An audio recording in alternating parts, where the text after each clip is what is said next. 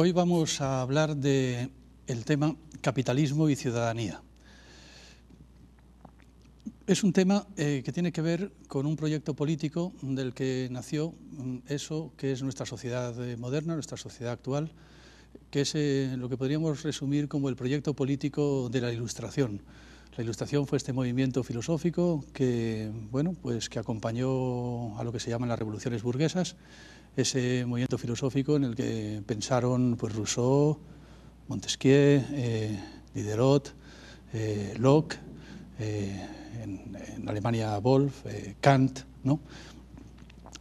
Este, según estaba previsto por este proyecto político, mm, pues lo que deberíamos de tener actualmente, según los planes previstos, debería de ser una república cosmopolita en Estado de Derecho, es decir, un imperio de la ley en, el marco de una república eh, capaz de englobar el planeta entero. El resultado ha sido ciertamente inesperado, ha sido enteramente distinto y hace falta preguntarse por qué.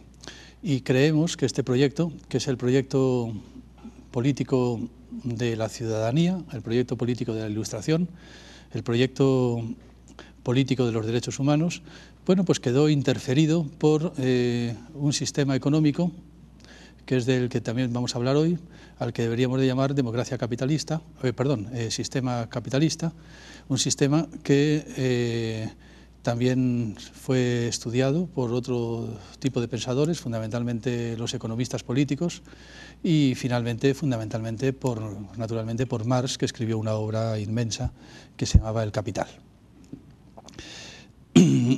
Vamos a intentar reflexionar, pues, por tanto, sobre esta interferencia entre las exigencias de la ciudadanía, por una parte, y la realidad del capitalismo, por otra. El proyecto político de la Ilustración mm, se podría resumir, eh, bueno, pues en la idea de mm, construir una sociedad por medios políticos, es decir, que la política sea capaz de instituir sociedad. ¿A partir de qué? A partir de un espacio, de un espacio al que llamamos precisamente espacio político, un espacio para la argumentación y la contraargumentación ciudadana, es decir, una asamblea de personas discutiendo, que eh, argumentan y contraargumentan leyes, plasman en, legislaciones los resultados de su argumentación y a partir de ahí pues, pues enderezan, se supone, enderezan el curso de la realidad, el curso de las cosas, el curso histórico, enderezan la realidad, en definitiva, la, sociedad, según las exigencias de, esto, de, estas, de, este, de este conjunto legislativo al que llamaríamos derecho. Es decir, el Parlamento hace leyes, y la sociedad obedece. Esta idea es lo que podríamos resumir en la idea de un Estado de Derecho, o como dicen los anglosajones, pues un imperio de la ley, que impere la ley. Esto es lo que los jacobinos, también en Francia, pues establecieron como el proyecto político de la modernidad, resumido en la frase que gobiernen las leyes y que no gobiernen en cambio los hombres. Es decir, que gobiernen las leyes y no los hombres, quiere decir que no haya ningún hombre por encima de la ley y que no haya ningún hombre que, se pueda, que, pueda, que pueda obligar a los demás a que su palabra sea la ley. Es decir, que toda palabra tenga que pasar por un espacio de contraargumentación ciudadana, a partir de la cual, pues, mediante unos artilugios institucionales, podríamos decir, bueno, esta es la idea pues, básica de lo que llamamos pues, Estado de Derecho, y lo conocemos bien porque es la teoría de nuestras democracias constitucionales, podríamos decir. Una teoría, vamos, unas democracias constitucionales que, por ejemplo, bueno, pues en el, en el continente europeo, pues han sido la norma eh, de, la que se han de, la, que Europa se ha sentido siempre tan orgullosa, tan orgullosa. De eso, natural, esto es la teoría, naturalmente la práctica vamos a ver que puede ser muy distinta y sobre eso vamos a reflexionar. Pero bueno, en fin, reflexionando todavía sobre la teoría, es decir, sobre qué significa esto de un Estado de Derecho, de una democracia constitucional, pues podemos hacer referencia a una idea fundamental que siempre está a la base de este proyecto político, que es la idea de que en el centro de la ciudad, en el centro de la ciudad haya un espacio vacío, un lugar vacío, un lugar vacío, un lugar que sea una especie de nada, un lugar vaciado de todo, que va a ser precisamente lo que llamaremos el espacio de la ciudadanía, el espacio de la ciudadanía. a partir de ese lugar, que es en definitiva donde se asienta la Asamblea para la argumentación y la contraargumentación, se elabora una Constitución y esa Constitución pues hace referencia eh, a una carta que se dictó en su momento en la Revolución Francesa, que actualmente es la Declaración Universal de los Derechos Humanos, en su momento fue la Declaración de los Derechos del Hombre y del Ciudadano, y que en su formulación actual, en su formulación de la ONU, en su formulación de 1948, en su artículo segundo, pues precisamente lo que hace es instituir este lugar vacío. Establece este lugar vacío mediante un artículo que todos hemos oído muchas veces, un artículo que, bueno, lo voy a leer, eh, a todos nos, nos sonará, y que marca la pauta precisamente de todo el edificio eh, jurídico de la Declaración de los Derechos Humanos y, también la pauta de todos los ordenamientos constitucionales que necesariamente hacen siempre actualmente referencia a los derechos humanos. El artículo segundo, en la formulación de 1948, dice así, Toda persona tiene los derechos y libertades proclamados en esta declaración sin distinción alguna, vemos aquí un sin, una, negación, sin distinción alguna de raza, color, sexo, idioma, religión, opinión política o de cualquier otra índole, origen nacional o social, posición económica, nacimiento, puntos suspensivos o cualquier otra condición. Es decir, esta interminable lista de negaciones termina con un etcétera, por si acaso se nos ha olvidado alguna característica. Es decir, es, leo este artículo para mostrar hasta qué punto en, la cúspide de nuestros ordenamientos jurídicos hay un lugar vacío señalado, ese lugar vacío, que en este momento en la Declaración de los Derechos Humanos queda vaciado, vaciado de toda particularidad de raza, color, sexo, idioma, religión, política de cualquier otra índole, origen nacional social, posición económica de nacimiento o cualquier otra condición. es decir, vaciado de todo.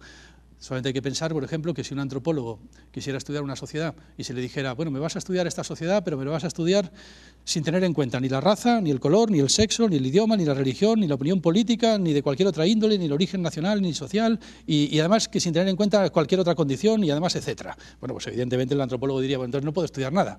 Bueno, esa nada, esa nada que no puede estudiar el antropólogo, esa nada que no puede estudiar el sociólogo, podríamos decir, es precisamente lo que el proyecto político de la Ilustración consideró el lugar vacío desde el que había que hacer la política. Y los, y señaló precisamente con esta Declaración de los Derechos Humanos como el referente necesario de todo ordenamiento político futuro. Digamos que esto es la teoría, efectivamente, pero es una teoría que tiene mucha importancia porque es la manera en la que la sociedad moderna, la sociedad contemporánea, la sociedad actual quiere entenderse a sí mismo, a sí misma. No hay ningún político que se le ocurra una idea tan insensata como para decir que no respeta los derechos humanos. Luego no los respetará, pero nadie se le ocurre decirlo. Es decir, todo el mundo pretende que la cúspide del ordenamiento político, del ordenamiento constitucional, del ordenamiento institucional de una sociedad, es este lugar vacío del que estamos hablando. Bueno, este lugar vacío lo inventaron obviamente los griegos. Es decir, la ilustración es heredera, por supuesto, de la revolución, de esa revolución cultural insólita, extrañísima, muy misteriosa, que inventaron los griegos y que se llamó filosofía, el, nacimiento de la historia de la filosofía. De hecho, Platón, Platón era muy consciente de, de la importancia de que este vacío estuviera en el centro de la ciudad. Yo creo que hay una manera de encontrar en Platón Mm, este tema. Por ejemplo, si vamos a, su libro quizás más maduro, Las leyes, encontramos repetidamente esta idea. La idea, en palabras exactas de Platón, que dice, quien ocupe el lugar de las leyes debe ser declarado el enemigo más peligroso de la ciudad. ¿Qué quiere decir esto? Quien ocupe el lugar de las leyes, es decir, si de pronto se encuentra alguien ocupando el lugar de las leyes, debe ser declarado el enemigo más peligroso de la ciudad. Y además Platón continúa diciendo que el enemigo más peligroso de la ciudad debe ser inmediatamente condenado a muerte. Y dice inmediatamente, dice, debe ser condenado inmediatamente a muerte, porque si hay alguien ocupando el lugar de las leyes, ni siquiera se le puede juzgar, porque no hay leyes. Entonces, si alguien de pronto se le pilla, podríamos decir infraganti, ocupando el lugar de las leyes, sentado en el lugar de las leyes, es decir, alguien que está suplantando a la ley, de tal manera que pretende que su palabra es la ley, un tirano que pretende que su palabra es la ley, pues dice Platón, ese debe ser declarado el enemigo más peligroso de la ciudad y debe ser condenado a muerte de forma inmediata, porque efectivamente no se puede ni siquiera esperar a juzgarle. Está novio que está colocado donde no debe estar, podríamos decir que está, que está ocupando un lugar donde no, puede, donde no debería estar, que sencillamente lo único que hay que hacer con él es eh, matarle cuanto antes, podríamos decir. Esto lo continúa diciendo Platón, diciendo, quién es, fíjense, es una fórmula muy gráfica, continúa diciendo, quien esclavice a las leyes, sometiéndolas al poder de los hombres, quien haga que la ciudad se someta a los dictados de una camarilla, de nuevo otra vez debe ser declarado el enemigo más peligroso de la ciudad y condenado a muerte. Es decir, quien haga que la ciudad se convierta en un, sistema político eh, ocupado por una camarilla, por un grupo de personas que pretenden que, pretenden que su palabra es ley, es decir, quien esté ocupando el lugar de las leyes, la frase de Platón es muy bonita, quien esclavice a las leyes sometiéndolas al poder de unos cuantos hombres, ¿no? una camarilla, debe ser declarado el enemigo más peligroso. Bueno, pues fíjense que estos textos de Platón reaparecen prácticamente idénticos, sin modificación, en la Constitución jacobina de 1793, en la Revolución Francesa. Es decir, el artículo 27, el artículo 27 de la Constitución francesa, la Constitución de los jacobinos, la Constitución de Robespierre, podríamos decir, decía que todo individuo que usurpe el lugar de la, de la soberanía sea de inmediato muerto, también dice de inmediato muerto, por los hombres libres. Este es el motivo por el que efectivamente Robespierre y Saint-Just piden que el rey sea, sea condenado a muerte sin juicio, porque bueno, es como si hubieran leído a Platón. El rey, por definición, está siempre ocupando el lugar de la ley. En lugar de tener ahí las leyes, pues tenemos siempre una persona que se puede decir que ha metido su cabeza en el lugar de la ley y pretende dictar leyes según su voluntad. Bueno, pues sin pasar, como decíamos, por este espacio vacío, por este espacio para la argumentación y la contraargumentación democrática, parlamentaria, diríamos hoy, ¿no? ¿Eh? Bueno, pues el rey es por definición esa persona que siempre tiene la cabeza donde no debe de estar. Dice, esa cabeza hay que cortarla, y para eso efectivamente los jacobinos inventaron un instrumento de cortar cabezas que era la guillotina. Es decir, digamos que la Declaración de los Derechos Humanos siempre lleva acompañada, siempre va acompañada por el otro lado de eso que es la guillotina. Por una cara es la Declaración de los Derechos Humanos, por la otra cara es la guillotina. Este artículo de la Constitución, vamos, este artículo de la Declaración de los Derechos Humanos, por su, este, eh, que lo que dice es las leyes tienen que ser dictadas desde un lugar vacío, ahí no puede haber la cabeza de nadie, va acompañado de un sistema, de un artilugio, podríamos decir, de un instrumento, de una máquina, para cortar cabezas y vaciar ese lugar. Por si acaso hay una cabeza secuela, inmediatamente la guillotina la corta, podríamos decir. Esto es, podríamos decir, yo, yo creo, es una forma de resumir pues, el proyecto político de la Ilustración, pero veo que de alguna manera, pues... Eh, estoy intentando explicar que de alguna manera se remite precisamente bueno, pues a, ese invento que hicieron los filósofos eh, griegos, que luego Platón además materializó en su idea de un rey filósofo, eso no quería decir que gobernaran los filósofos, eso que, decir los filósofos, que gobernaran los, los, filósofos de carne y hueso, sino más bien que gobernara la filosofía, es decir, que gobernaran aquellos que saben o aquellos que exigen que el lugar de las leyes esté vacío, es decir, que gobernara en definitiva ese espacio de la argumentación y la contraargumentación, ese espacio para la razón, podríamos decir, ese espacio para la razón, que también además es independiente, independiente, independiente de toda esclavitud hacia raza, color, sexo, idioma, religión, opinión política y por tanto, siendo independiente, ese lugar al mismo tiempo que es la razón, es también la libertad, es también la libertad. Razón y libertad serán los dos grandes misterios de la historia de la filosofía, y son también los dos grandes cimientos de lo que la sociedad moderna pretende ser. Obra de la libertad, obra de la política,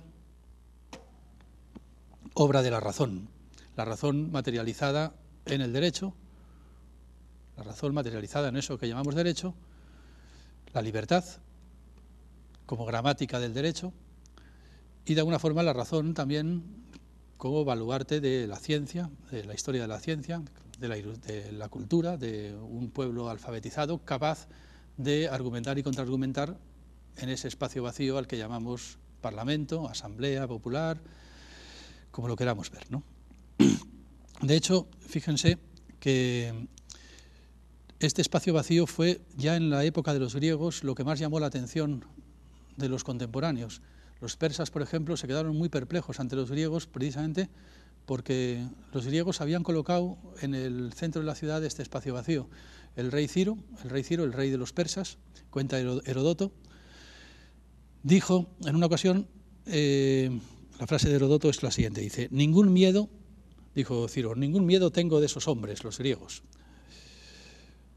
Muy insensato él, porque luego perdió la guerra contra los griegos. Dice, ningún miedo tengo de, los de esos hombres de los cuales es carácter colocar en el centro de su ciudad un lugar vacío al que acuden todos los días para engañarse unos a otros bajo juramento. No tengo ningún miedo de esos hombres que han tenido la peregrina idea, la estúpida idea, la idea tan disparatada de colocar en el centro de su ciudad un lugar vacío al que acuden todos los días para engañarse unos a otros bajo juramento. Dice el rey Ciro, esos tíos no, no tienen sentido, no, no, se les puede tener miedo, son unos insensatos, han construido una ciudad insensata. Esa ciudad insensata, por cierto, iba a ganar la guerra contra los persas. ¿Qué pensaba el rey Ciro que habría que encontrar en el centro de la ciudad en lugar de ese lugar vacío? Bueno, pues lógicamente un, trono, un trono para el rey, un trono para el rey o un templo para el dios. Lo lógico es que en el centro de la ciudad haya un templo para los dioses o un trono para los reyes. Eso es lo lógico. Los griegos dijeron no, vamos a dejar el centro de la ciudad vacío. Bueno, a partir de entonces comenzó eso que podríamos llamar la aventura de la ciudadanía. La aventura de la ciudadanía. Ahora bien, o sea, los griegos fueron muy conscientes de lo difícil que era arrancar ese lugar vacío al curso de las cosas. De lo difícil que era, podríamos decir, arrancar ese lugar vacío a la historia por una parte y a la naturaleza por otra. Es decir, había que arrancar ese lugar vacío a los persas, por ejemplo, pero también había que arrancar ese lugar vacío a las propias fuerzas internas de la sociedad griega que querían ocuparlo. También había que arrancar ese lugar vacío, había que abrir un espacio contra la naturaleza, que constantemente pretendía invadir también ese lugar vacío. Porque naturalmente para argumentar y contraargumentar en un lugar vacío hace falta que ese lugar esté vacío, pero vacío sobre todo de terremotos, de tempestades, es decir, conviene incluso que tenga un techo para que no llueva, es decir, la naturaleza está constantemente invadiendo ese lugar vacío desde el cual se puede en el cual se puede razonar, argumentar, contraargumentar y solidificar los, resultados de la argumentación y la contraargumentación en eso que llamamos leyes o derecho. Es decir, es como si constantemente ese lugar vacío, decían los griegos, podríamos decir que decían los griegos, vamos, no lo decían con estas palabras, lógicamente, ese lugar vacío estuviera continuamente amenazado por una especie de tsunami eh, natural por una parte y, e histórico por otro. Esto los griegos hasta tal punto lo sabían que eh, lo contaron a su manera en lo que consideran su mito fundacional, es decir, el mito, lo que podríamos llamar el génesis, el, génesis griego, el mito, el mito que, en el que los griegos contaron el comienzo del mundo, que es el, el mito de, Urano y Gea copulando, Urano, Urano y Gea, el Urano es el cielo, Gea es la tierra, Urano y, Gea estaban al principio de los tiempos, dice el mito griego, eh, copulando constantemente entre sí. Urano estaba encima de Gea, tendido, y no dejaba espacio en el centro, porque en el, centro tenía eh, su pene introducido en el vientre de Gea y eh, nunca dejaba de eyacular, nunca dejaba de, llenar el vientre de, semen el, vientre de Gea. Gea se iba quedando embarazada, pero ningún hijo podía parir porque el pene de Urano taponaba constantemente la salida, podríamos decir. ¿no? Entonces dicen los griegos, em, todo empezó cuando un, uno de los titanes que estaba gestando Gea en su vientre, pues cogió una hoz, agarró una hoz y le cortó el pene a su padre desde el interior del vientre de, de Gea, le cortó el pene a Urano, que naturalmente, bueno, pues podríamos decir que pegó un salto de dolor y, y se colocó en el, cielo. dejando un espacio vacío en el centro, un espacio vacío en el cual eh, parece que era posible la vida de los seres humanos. Pues no, no era posible tampoco la vida de los seres humanos porque resulta que el titán que había cortado el pene a su padre, a Urano, era Cronos, el tiempo, el tiempo. El tiempo se dice Cronos en, en griego. El tiempo, entonces empezó a reinar en esa dimensión que se había abierto entre el cielo y la tierra. Pero claro, el tiempo tenía un inconveniente. Cuando reinaba el tiempo, eh, el inconveniente es que el tiempo es que lo devora todo, el tiempo se lo come todo. Nosotros sabemos muy bien que el tiempo de alguna forma es el continuo devorar el presente, el futuro devorando el presente, el presente ha devorado al pasado, ese continuo comerse a sí mismo que es el tiempo. Cronos, es el reinado de Cronos. Nada puede permanecer, nada es estable. Ni siquiera podríamos hablar, no era posible hablar. ¿Por qué no era posible hablar? Porque para hablar necesitamos, eh, necesitamos una estabilidad. Esa estabilidad es la gramática del lenguaje. Necesitamos unas estructuras eh, lingüísticas estables. Si cada frase que pronunciáramos variara las reglas de la gramática, pues sería imposible hablar. O sea, si cada frase que pronunciáramos tuviera una gramática distinta que la anterior, porque cada, podríamos decir, cada, si cada frase cambiase o generase su propia gramática, pues el lenguaje sería imposible. Y eso es lo que pasaba con el reinado de Cronos. Tampoco era posible hablar porque Cronos lo devoraba todo todo el rato, no había nada estable, no había nada que pudiera permanecer, no había ninguna institución. Y la primera institución que hace falta para poder hablar es el lenguaje mismo, el lenguaje mismo. Es decir, que tampoco era posible la vida de los seres humanos con el reinado de Cronos. Hacía falta una victoria sobre Cronos. Cronos, eh, esto lo cuenta el mito griego de una forma muy bella, muy terrible también, ¿no?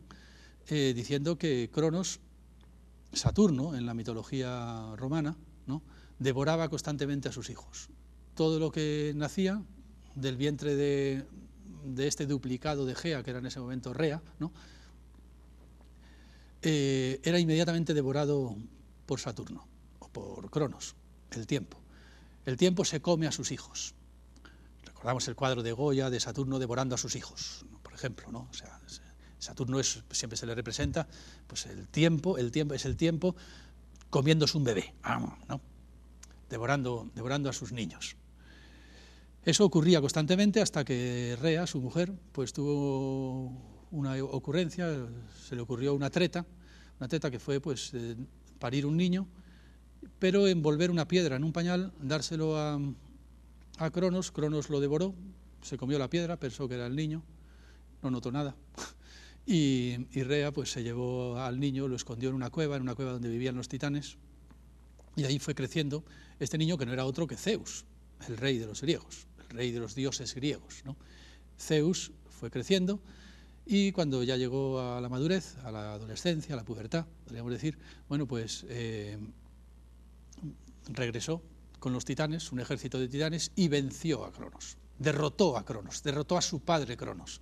Igual que Cronos había derrotado a su padre Uranos, Zeus derrotó a su padre Cronos. Esta victoria fue la que, según los griegos, hizo posible la vida de los seres humanos. Esta victoria por la cual de pronto dejó de reinar el tiempo. Y si dejó de reinar el tiempo, quiere decir que fue posible que algo permaneciera. Fue posible que algo permaneciera. Fueron posibles las instituciones. Fue posible empezar a crear instituciones. Fue posible crear una institución en la que era posible hablar, argumentar, contraargumentar, una institución a salvo de las arremetidas del tiempo, a salvo de las arremetidas de la historia. O sea, porque no es que, no es que el tiempo dejara de pasar, el tiempo sigue pasando, pero había un espacio en el que el tiempo quedaba suspendido, un espacio vacío, efectivamente, en el que el tiempo no podía entrar. Momentáneamente, estamos aquí en este espacio en el que no pasa nada y como no pasa nada podemos hablar y por tanto vamos a argumentar, vamos a contraargumentar y a partir de aquí van a salir leyes. Y esas leyes van a tener más autoridad que el tiempo. Porque si el tiempo hace a las cosas encajar unas con otras, nosotros vamos a encajar el encajar de las cosas unas con otras con lo que, las, con lo que debe ser. Es decir, una cosa es que el pez grande se coma al chico y otra cosa es que haya una ley que diga que el pez grande no se debe comer al chico. Es decir, eh, se trata de que las leyes tengan más autoridad que el tiempo. Bueno, este proyecto precioso, este proyecto de, la filosofía, fue recogido efectivamente por la Revolución Francesa como la gran victoria de la filosofía, en la que era posible una nueva sociedad en, la cual el derecho tuviera más autoridad que el tiempo, el derecho tuviera, la ley, la libertad, la libertad tuviera más autoridad que el tiempo. La libertad, ese vacío que es capaz de argumentar y contraargumentar, ese vacío que es capaz de consolidar sus conclusiones en leyes, obliga al tiempo a cumplir la ley, obliga al curso de las cosas, obliga al sucederse de las cosas a cumplir la ley. Eso se, eso se llama actualmente poner las cosas en estado de ley, poner las cosas en estado de derecho. Ese es el proyecto tan bello que hemos heredado de Grecia y que efectivamente los jacobinos de la Revolución Francesa pues plasmaron con la Declaración de los Derechos Humanos y la Constitución.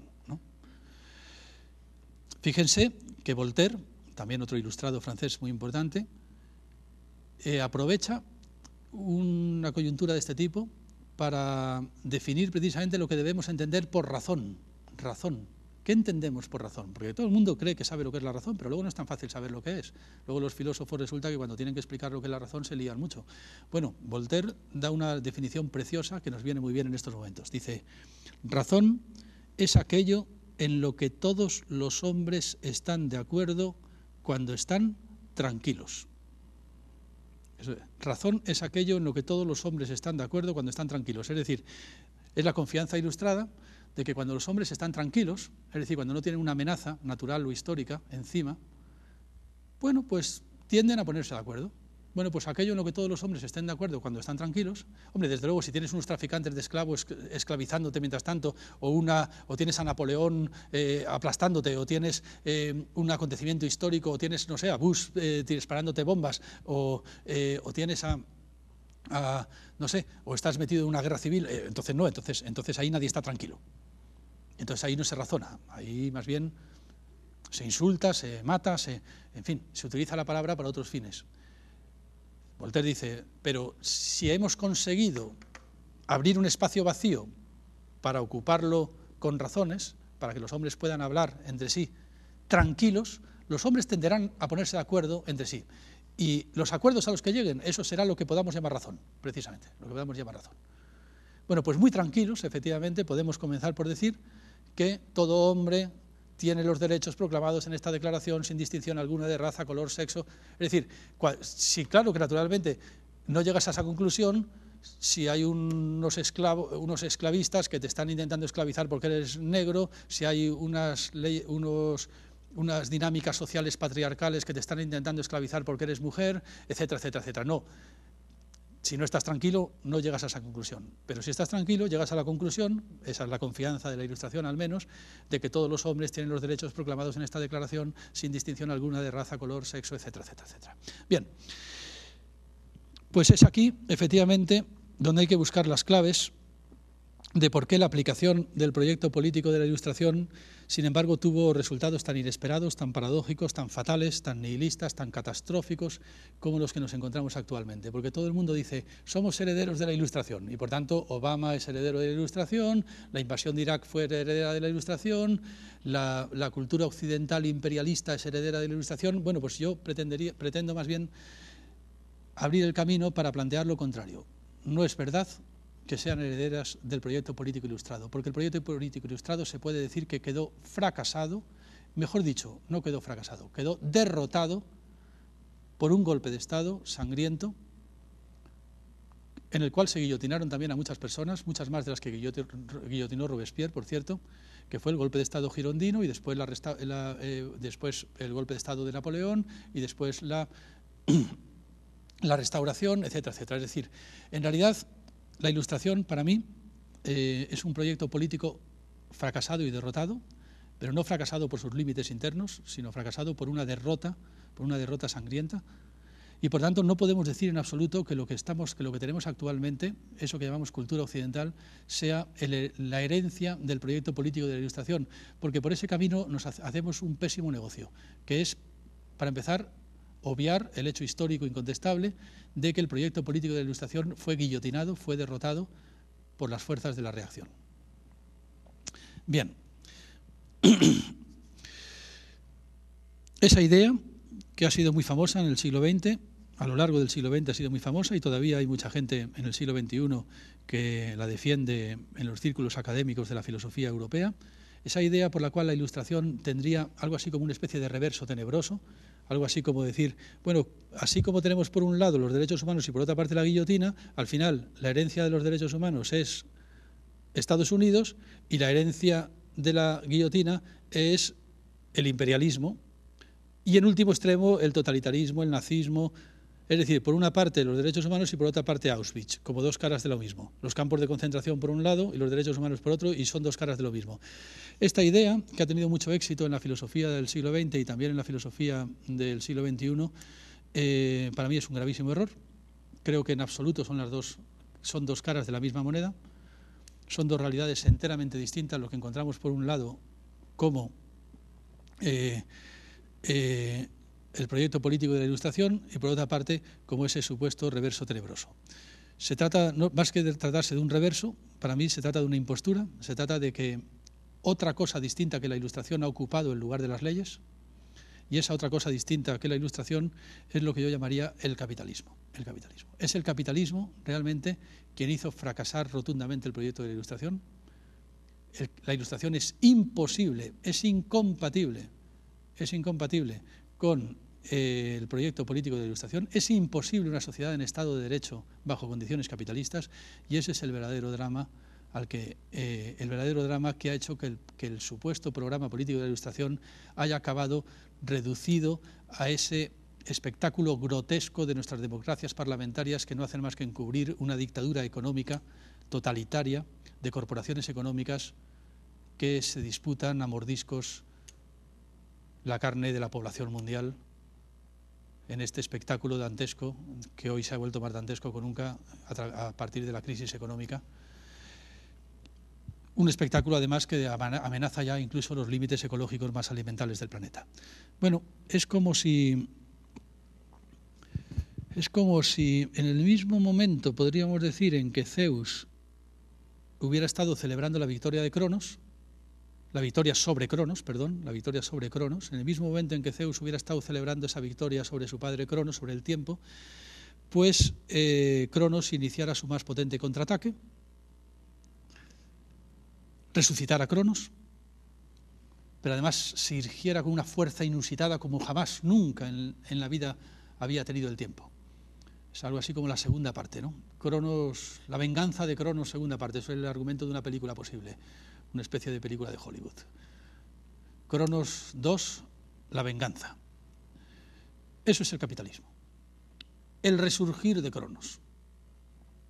Cronos de nuevo tomando la palabra con más fuerza que la argumentación ciudadana, es decir, haciendo imposible la argumentación y la contraargumentación, haciendo imposible la tranquilidad, haciendo imposible el espacio político, llenando enteramente el espacio político de la ciudadanía llenando enteramente el espacio político parlamentario con corporaciones económicas dictatoriales, sin ningún control parlamentario, llenando actualmente el espacio político con esa realidad fuera de todo control parlamentario que se llama que, los medios de comunicación llaman los mercados, los mercados, unos mercados que no solamente no argumentan y no contraargumentan con ninguna legitimidad democrática, sino que es que ni siquiera negocian ya a un ritmo humano comprensible, porque es que resulta que estos mercados funcionan ya en los edificios de la bolsa a una velocidad tan vertiginosa que el género humano ni siquiera puede seguir. En este, en este momento los brokers ya no funcionan eh, desde su, podríamos decir, su pellejo humano. Tienen unas máquinas, hay unas maquinarias, capaces de controlar derivados financieros, capaces de, controlar el mercado de futuros, que hacen a veces miles, decenas de miles, creo, no sé si millones de operaciones bursátiles por minuto, por minuto. Es decir, que en un segundo puede haber decenas de miles de, de operaciones bursátiles hechas por estas máquinas, estos ordenadores potentísimos que compran y venden el futuro, compran y venden derivados que manejan el futuro de la población mundial. Esos instrumentos financieros son lo más opuesto que puede haber a ese espacio de la tranquilidad de la que nos hablaba Rousseau, de la que nos hablaba Voltaire, para argumentar y contraargumentar y legislar. Ese espacio vertiginoso, tan vertiginoso que va a una velocidad, que va prácticamente a la velocidad de la luz. Ese espacio tan vertiginoso no es, en definitiva, la resurrección del tiempo, la resurrección del reinado del tiempo, la resurrección del reinado de Cronos. Es decir, no, es, no sería para los griegos contemplado como la vuelta a la prehistoria, la vuelta a esos tiempos en los que Cronos era todopoderoso, la vuelta a esos tiempos en, los que, Zeus todavía no había hecho posible la vida de los hombres. Para los griegos, la sociedad actual sería sencillamente el infierno en el que el tiempo era todopoderoso y la palabra no tenía absolutamente ningún poder. De hecho, esto es lo que, de alguna manera, eh, los mejores, a mi entender, intérpretes de la tradición marxista denunciaron ya, desde ya hace mucho tiempo. Vamos a ver, por ejemplo, eh, bueno, una gran economista actual, eh, que ni siquiera es especialmente marxista, aunque tampoco es antimarxista, Wallerstein. Wallerstein, que es autor de una monumental obra sobre el sistema económico capitalista, sobre el capitalismo histórico, cuando tuvo que resumir su libro, lo resumió en un librito muy pequeño, muy pequeño que se llamaba, por cierto, El capitalismo histórico. es un libro en el bueno, no tengo el texto aquí, pero, vamos, más o menos puedo, puedo rememorarlo diciendo que, bueno, dice algo así como, como estudioso del capitalismo histórico a lo largo de tantos años, he llegado a la conclusión de que se trata de un sistema patentemente absurdo es un sistema que consiste en algo así como en una rueda de ratón. Igual que los ratones corren más deprisa para correr más deprisa, el capitalismo acumula capital para acumular más capital. Y su único, su único cometido es crecer hoy más de lo que se había crecido ayer. Crecer hoy más que ayer y menos que mañana. Crecer, crecer, crecer, crecer, correr, correr, correr, correr, es el reinado de Cronos, es el infierno. Para los griegos eso era exactamente el mito de Sísifo, subir una, una, una, una piedra por un barranco para que luego nada más llegar arriba volviera a caer otra vez, ese espacio, ese, ese, ese, eh, ese estar encadenado a un continuo pasar de las cosas, a un continuo volver al punto de partida, estar encadenado en definitiva al tiempo, al, vertiginoso, al, no, al, no, poder, al, no poder dejar nada estable, al no poder conservar nada, a esta especie de continuo tsunami. Por eso Benjamin, Benjamin también nos dijo que no le gustaba mucho comparar la revolución comunista con una locomotora, porque más bien él tenía la sensación de que lo que era un tren sin frenos que caminaba hacia el abismo era el capitalismo y que el socialismo, el comunismo, debería ser más bien el freno de emergencia. El capitalismo es una locomotora desbocada que camina hacia el abismo a una velocidad más y más vertiginosa cada vez. El comunismo no puede ser más que un freno, más bien. Más que acelerar la marcha, se trata de detener esa locomotora, de parar, que es exactamente la mayor objeción que se puede hacer contra el capitalismo. El capitalismo es un sistema que no puede detenerse, que no puede ralentizar su marcha, que no puede parar, necesita crecer ininterrumpidamente en una escala vertiginosamente creciente, en un sistema que sin embargo es finito, que sin embargo en un sistema, digo, en un mundo que sin embargo es finito, es un mundo redondo, que tiene límites, pero un crecimiento infinito en un mundo finito es una contradicción y esa contradicción acabará con el planeta. Entonces, se trata de parar el capitalismo o acabar con el planeta. Pero claro, no solamente ya se trata, vamos, por supuesto que acabar con el planeta es lo más elemental que se puede decir. Pero ¿cómo va a ser posible el Estado de Derecho en esas condiciones, con ese ritmo vertiginoso? Una sociedad sometida a ese ritmo vertiginoso de Cronos, una sociedad en la que reina Cronos es una sociedad en la que es enteramente imposible el proyecto político de la Ilustración. Pretender que la sociedad capitalista es la sociedad de la Ilustración es confundir a Zeus con Cronos es un disparate absolutamente sin igual.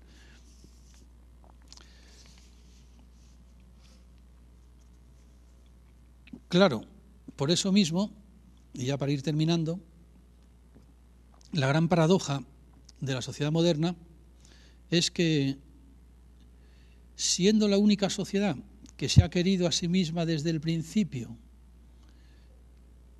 mm, instituida, constituida por medios políticos, es sin embargo una sociedad en la que la política está enteramente secuestrada por unos intereses económicos que podríamos decir viajan a la velocidad de la luz de forma absolutamente incontrolable por el espacio de la argumentación y la contraargumentación, es decir, por el espacio de la política. Es la primera sociedad, la sociedad contemporánea, la sociedad moderna, esa sociedad que de alguna forma remite a la Revolución Francesa, es la única sociedad que se ha querido a sí misma construida no a partir de la religión, no a partir de la tradición, no a partir de la costumbre, no a partir en fin, del conglomerado histórico correspondiente, sino a partir de la, palabra de la libertad y de los instrumentos políticos que la libertad sea capaz de poner en juego. Pues esa sociedad que se ha querido construida políticamente, sin embargo, es la sociedad en la que paradójicamente la política tiene menos importancia. La política es más grotesca, más patética. Da pena, da lástima, da vergüenza contemplar a nuestra clase política actual al servicio enteramente de lo que dicen los mercados, contemplar cómo en Europa, esa Europa heredera de Grecia, o que se pretende heredera de Grecia, han sido los bancos financieros, Goldman Sachs, quienes recientemente han impuesto contra la democracia, contra el parlamentarismo, a sus tecnócratas, a sus banqueros, para dictar los recortes sociales que hace falta legislar es decir, ¿hasta qué punto las corporaciones económicas, como decía Platón, están esclavizando las leyes? ¿Hasta qué punto las corporaciones económicas, los bancos financieros, están ocupando el lugar de las leyes? En ese ocupar el, lugar de las leyes que decía Platón que merecía la pena de muerte inmediata, sin juicio, porque se trataba de o ellos o nosotros, bueno, pues efectivamente la paradoja es esta. Justamente en el momento en que pareció que triunfaba la filosofía, justamente en el momento en que pareció que triunfaba el proyecto político de la Ilustración, se puede decir que el capitalismo no solamente dio al traste con ese proyecto político, sino que sometió a la sociedad a un reinado vertiginoso, vertiginoso de Cronos, mucho más potente, mucho más irracional, mucho más absurdo, mucho más criminal que cualquier otra sociedad precedente. Así vivimos en una realidad de gigantes privados, una realidad de gigantes privados que lo pueden todo, incluso destruir el planeta, sin consultar a ninguna instancia política. Y ese es el camino que tenemos por delante. Es el camino que tenemos por delante desde hace mucho tiempo y sin embargo es, es también nuestro futuro si no se pone remedio. Es decir, si no logramos de alguna forma que el socialismo efectivamente funcione como un freno de emergencia capaz de ralentizar la marcha para que la palabra, la argumentación y la contraargumentación, la política, la ley, pueda volver a tomar la palabra contra los intereses económicos más poderosos del planeta. Y voy a terminar con un texto para que vean que la situación viene ya de muy lejos. Un texto de Salvador Allende. No, bueno, no es un texto de Salvador Allende. Es más bien las palabras que pronunció Salvador Allende en la ONU en 1972. Le quedaban a Salvador Allende pocos meses de vida Es un precioso discurso de Salvador Allende en la Asamblea General de la ONU. Aplauden rabiosamente a Salvador Allende, rabiosamente, hasta el punto de que le ocurre como a los directores de orquestas estos que, que se levanta, saluda, siguen aplaudiendo, se tiene que volver a levantar, volver a saludar, se vuelve a sentar, le vuelven a obligar a saludar otra vez. La Asamblea General de la ONU no paraba de aplaudir y de aplaudir, de aplaudir a Allende. Como digo, a un Allende al que iba a dar muerte inmediatamente, pocos meses después, eh, el general Augusto Pinochet. Las palabras con las que terminó su discurso fueron estas, para que veamos lo actual que eran, lo actuales que suenan hoy en día. Estamos frente a un verdadero conflicto frontal entre las grandes corporaciones económicas y los estados. Los estados aparecen interferidos en sus decisiones fundamentales, políticas, económicas y militares por organismos globales, por corporaciones económicas que no dependen de ningún estado y que no responden ni están fiscalizados por ningún parlamento, por ninguna institución, representativa del interés colectivo. En una palabra, es toda la estructura política del mundo la que está siendo socavada. Las grandes empresas transnacionales no solo atentan contra los intereses genuinos de los países en desarrollo, sino que su acción avasalladora e incontrolada se da también en los países industrializados en que se asientan. Es nuestra confianza en nosotros lo que incrementa nuestra fe en los, grandes, valores de la humanidad, en la certeza de que estos valores tendrán que prevalecer y no podrán nunca ser destruidos. Nunca han sido más oportunas que hoy en día. En, el momento actual, en este momento en el que los mercados definitivos se han vuelto definitivamente locos, estas palabras de Allende, esta advertencia terrible de Allende, que además fue tan trágicamente confirmada por la historia del siglo XX. Tenemos que esperar que en el siglo XXI haya alguna manera de eh, detener el reinado de Cronos, de detener el capitalismo en esta huida insensata hacia adelante que nos lleva al abismo. Y la única manera de detenerlo es un anticapitalismo que creo que no puede tener otro nombre que socialismo, un socialismo del siglo XXI, efectivamente, un socialismo del siglo XXI, que logre, bueno, pues esa anhelada derrota definitiva del reinado de Saturno, del reinado de Cronos. Y creo que, bueno, vamos a dejarlo por hoy, pues todavía mucho que hablar. Ya me despido de ustedes.